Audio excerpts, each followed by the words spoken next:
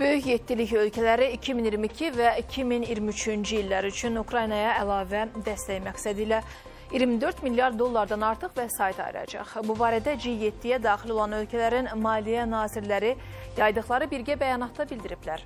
Müharibənin davam etdiyi müddətdə Ukraynanın şəhərləri raket və artilleriya silahlarından ciddi zərər görüb. Ölkənin Maliyyə Nazirliyi dəymiş zərəri milyardlarla ölçür. Bəs qərbdən gələn maliyyə dəstəyi Ukraynaya dəyən zərəri ödəməyə kifayət edəcəkmi? Beynəlxalq hüquq bununla bağlı nə deyir?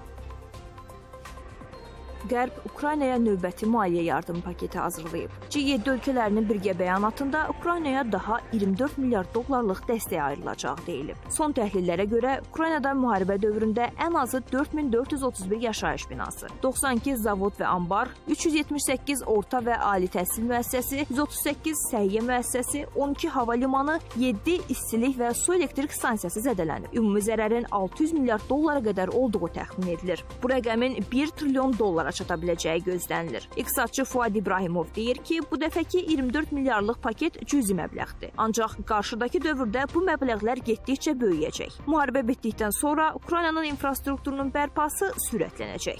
Nəzərə almaq lazımdır ki, e, dünya və Avropa Birliyi demək olar ki, yekdilliklə Ukraynanın e, belə deyək, mənafeyini qoruyur. Yəni bu nöqteyi nəzərdən e, yardım paketi nöqteyi nəzərindən əlbəttə ki, onların inkişafı daha sürətli gedəcək və qısa zaman kəsimində, indi qısa zaman kəsimində deyəndə proqnozlarla bu 5-7 ildir.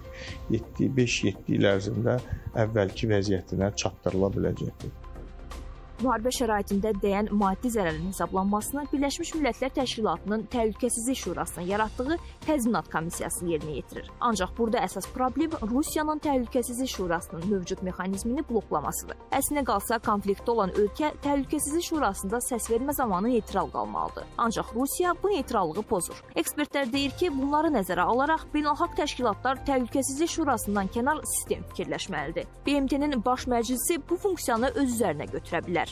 Bunlara baxmayaraq Rusiyanın məsuliyyətə gətirilməsi prosesində hələ də beynəlxalq deməli ictimaiyyət arasında bir ciddi bir mexanizm qurula bilməyib. Ümumiyyətlə belə deyək də beynəlxalq praktikada zərərin ödənilməsində xoş məram e, mövqeyi olub. Məsələn, Amerika Birləşmiş Ştatları Nikaragua ilə bağlı münaqişəsinin e, həlli zamanı e, deməli ədalət məhkəməsi qərar verdi. Düzdür, ədalət məhkəməsinin qərarı ilə Amerika Birləşmiş Ştatları razılaşmadı, amma sonra xoş məram əsasında müəyyən deməli tədbirləri həyata keçirməli oldu. Amma Rusiyanın yürütdüyü o xarici siyasətdəki o humanizm dəyərlərinin olmaması səbəbindən hesab etmirəm ki, Rusiya Ukraynaya hər hansı bir könüllü formada ödəmə həyata keçirsin. Dünya Bankının hesablamalarına görə Rusiyanın Ukraynanı işğalı Ukrayna iqtisadiyyatını təxminən 45,1% kiçildəcək. Əlbəttə, Ukraynaya dəyən zərərin ödənilməsi üsulu isə müharibənin nəticəsindən sonra daha aydın bilinəcək.